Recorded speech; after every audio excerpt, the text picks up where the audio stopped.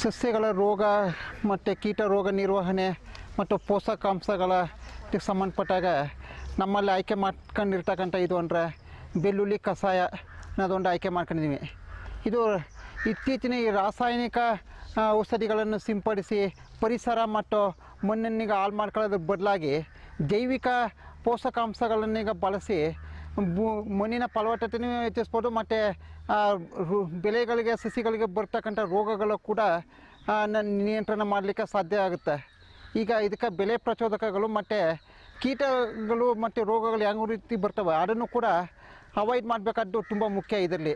ಇದರಲ್ಲಿ ಬೆಳ್ಳುಳ್ಳಿ ಕಷಾಯ ತಯಾರು ಮಾಡ್ತಕ್ಕಂಥದ್ದು ತುಂಬ ಅತ್ಯುತ್ತಮವಾದ ವಿಧಾನವಾಗಿರ್ತದೆ. ಈ ಬೆಳ್ಳುಳ್ಳಿ ಕಷಾಯ ಇದು ಮಾಡೋದ್ರಿಂದ ಏನಾಗುತ್ತೆ ಅಂದರೆ, ಬೇರೆ ಔಷಧಿ ಕಳ್ಕೊಂಡಕ್ಕಿಂತ ಕಮ್ಮಿ ಖರ್ಚಲ್ಲಿ ಇದನ್ನು ತಯಾರು ಮಾಡ್ಕೊಂಡು ಇದನ್ನು ಬೆಳೆಗಳಿಗೆ ಸಿಂಪಡಣೆ ಮಾಡೋದ್ರಿಂದ ಬೆಲ್ಲುಳ್ಳಿ ಬೆಳ್ಳುಳ್ಳಿ ಇದು ಬರ್ತಕ್ಕಂಥ ರೋಗಗಳು ಬೇಗ ಇದಾಗಿ ಅದರಿಂದ ಅದ್ರಿಂದ ಬರ್ತಕ್ಕಂಥ ಇದು ಸತ್ವಾಂಶ ಮತ್ತು ಪೋಷಕಾಂಶಗಳು ತುಂಬ ಉತ್ಕೃಷ್ಟವಾಗಿರ್ತವೆ. ಈಗ ಬೆಳ್ಳುಳ್ಳಿ ಕಷಾಯ ತಯಾರು ಮಾಡೋಕ್ಕೆ ಬೇಕಾದಂಥ ಪರಿಕರಗಳು ಪರಿಕರಗಳು ಏನೇನು ಬೇಕಾಗಿರ್ತವೆ ಅಂದರೆ ಈಗ ಬೆಳ್ಳುಳ್ಳಿ ಕಷಾಯ ತಯಾರು ಮಾಡಲಿಕ್ಕೆ ಒಂದು ಡ್ರಮ್ ಬೇಕಾಗುತ್ತೆ ಇದಕ್ಕೆ. ಈ ಮುಚ್ಚಳ ಇರ್ತಕ್ಕಂಥ ಒಂದು ಡ್ರಮ್ಮು ಡಬ್ಬಿ. ಡಬ್ಬಿ. ರುಬ್ಬಿದ ಬೆಳ್ಳುಳ್ಳಿಯನ್ನು ರುಬ್ಬಿ ರೆಡಿ ಮಾಡಿ ಇಟ್ಕೋಬೇಕಾಗುತ್ತೆ ಇದನ್ನೀಗ.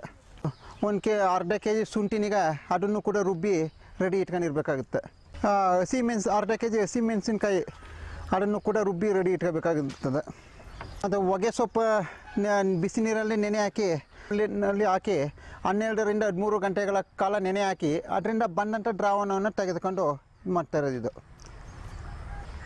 ಬೇವಿನ ಎಣ್ಣೆ ಇನ್ನೂರು ಎಂ ಎಲ್ ಬೇಕಾಗುತ್ತೆ.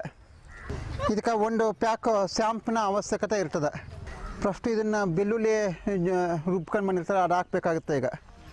ಒಳಗಡೆ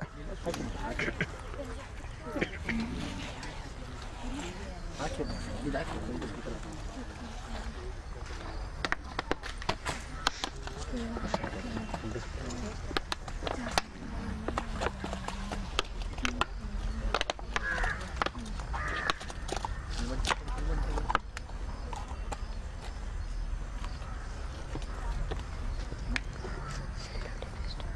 ಒಂದು ಕೆ ಜಿ ರುಬ್ಬಿರೋ ಬೆಳ್ಳುಳ್ಳಿ ಕಷಾಯ ಹಾಕಿದ ಬಳಿಕ ಒಂದು ಕೆ ಜಿ ಮೆಣಸಿನ್ಕಾಯಿ ಕ- ಆ, ರುಬ್ಬಿರೋ ಕಷಾಯ ಇದು ಹಾಕ್ಬೇಕಾಗುತ್ತೆ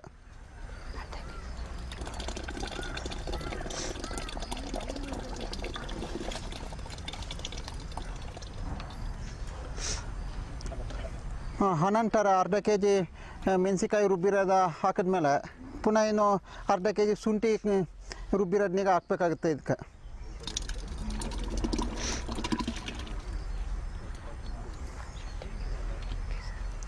ಈ ಮೂರು ಮಿಶ್ರಣ ಆದ ಬಳಿಕ ಮತ್ತು ಹೊಗೆ ಸೊಪ್ಪು ನೆನೆ ಹಾಕಿರ್ತೀವಲ್ಲ, ನೆನೆ ದಿವಸ, ಆ ಹೊಗೆ ಸೊಪ್ಪನ್ನ ದ್ರಾವಣನೀಗ ಇದಕ್ಕೆ ಹಾಕಿ ಮಿಕ್ಸ್ ಮಾಡಬೇಕಾಗುತ್ತೆ.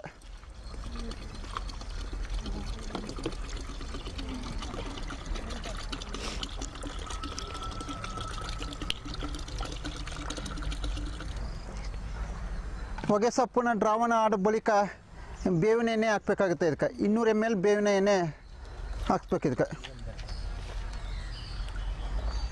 ಕೊನೆಯದಾಗಿ ಶ್ಯಾಂಪು ಬೇವನೆಣ್ಣೆ ಸಿಂ ಇನ್ನೂರು ಎಂ ಎಲ್ ಬೇವನೆಣ್ಣೆ ಹಾಕ ಸಿಂಪಡಣೆ ಮಾಡಿದ ಬಳಿಕ ಕೊನೆಯದಾಗಿ ಒಂದು ಪ್ಯಾಕೆಟ್ ಶ್ಯಾಂಪು ಹಾಕಬೇಕಾಗುತ್ತೆ. ಈಗ ಶ್ಯಾಂಪು ಹಾಕೋ ಉದ್ದೇಶ ಏನಂದ್ರೆ, ಇದು ಔಷಧಿ ಸಿಂಪಡಣೆ ಮಾಡಿದ್ರು ಎಲೆ ಮೇಲೆ ಬಿದ್ದದ್ದು ಜಾರ್ಕೊಂಡು ಹೊಂಟೋಗುತ್ತೆ ಅದು ಶ್ಯಾಂಪಲ್ಲಿ ಒಂದು ಅಂಟು ಅಂತ ಗುಣ ಇರೋದ್ರಿಂದ ಎಲೆ ಮೇಲೆ ಬಿದ್ದಂಥ ಇದು ಶ್ಯಾಂಪು ಅಂಟು ಅಂಟ್ಗಳು ಒಂದು ಸ್ವಲ್ಪ ಸಮಯ ಇರಲಿ ಅನ್ನೋದಕ್ಕೋಸ್ಕರ ಇದನ್ನೀಗ ಈ ಶ್ಯಾಂಪುನೀಗ ಮಿಕ್ಸ್ ಮಾಡ್ತಾಯಿದ್ದೀವಿ ಇದಕ್ಕೆ. ಮತ್ತು ಇದನ್ನೀಗ ಇದೆಲ್ಲ ಹಾಕಿ ಇಷ್ಟು ಪರಿಕರಗಳನ್ನು ಹಾಕಾದ್ಮೇಲೆ ಕೊನೆಯಲ್ಲಿ ಇದನ್ನೀಗ ತಿರುಗಿಸ್ಬೇಕಾಗುತ್ತೆ. ತಿರುಗಿಸಿ ಎಲ್ಲನೂ ಮಿಕ್ಸ್ ಮಾಡಬೇಕಾಗುತ್ತೆ ಇದನ್ನೀಗ.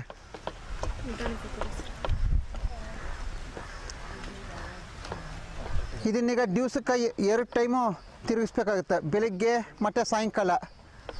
ಮೂರು ದಿವಸಗಳವರೆಗೆ ಇದನ್ನು ತಿರುಗಿಸಿ ಮಾಡಿ ಚೆನ್ನಾಗಿ ಮಿಕ್ಸ್ ಆಗ್ತಿರ್ಬೇಕಾಗುತ್ತೆ.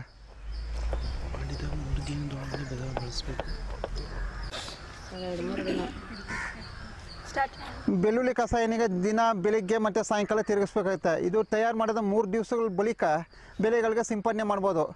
ಈ ಬೆಳ್ಳುಳ್ಳಿ ಕಷಾಯದ ಡ್ಯೂರೇಷನ್ ಎಷ್ಟಿರ್ತದೆ ಅಂದರೆ, ಮೂರು ತಿಂಗಳು ಇದನ್ನು ಪ್ರತಿ ಲೀಟರ್ಗೆ ಟೆಮ್ ಎಲ್ ಅಂತೆ ಮಿಕ್ಸ್ ಮಾಡಿ ಈ ಬೆಳ್ಳುಳ್ಳಿ ಕಷಾಯವನ್ನು ಬೆಳೆಗಳಿಗೆ ಸಿಂಪಡಣೆ ಮಾಡೋಕ್ಕೆ ಬರ್ತದೆ.